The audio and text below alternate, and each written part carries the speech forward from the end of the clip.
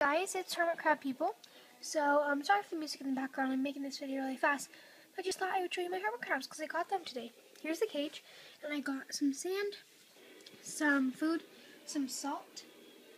And then I got two hermit crabs. So, one is back there, right by the palm tree. And then one is under there.